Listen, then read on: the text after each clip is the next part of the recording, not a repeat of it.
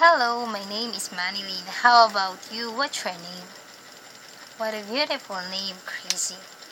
Now I want you to have fun and learn with me today. But before that, we're going to sing a song. Do you know a song? My toes, my knees, my shoulder, my head.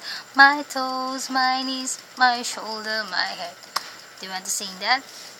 Now we're going to sing that today. Okay? Repeat after me. My toes, my knees, my shoulder, my head. My toes, my knees, my shoulder, my head. Very good. High five. Now we're going to start our study to our lesson today. Our lesson for today is about top, top, top. Can you repeat? Top, top, top. Again. Top, top, top. Very good. Now we're going to the next page 51. What can you see in this picture? Yes, a family. Again, a family. A mother, a father, brother, and sister. Now I'm going to read this. I am at the lake. And you're going to repeat, okay?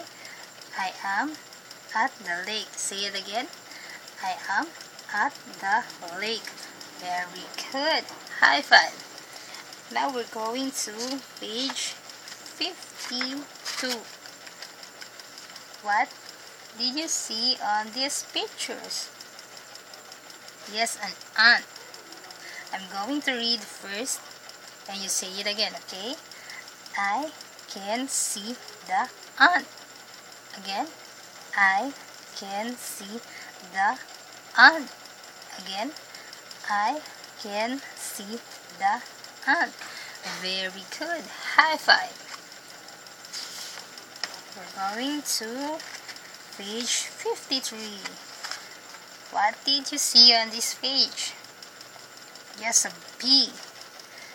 I can see a bee. Can you say it again? I can see a bee.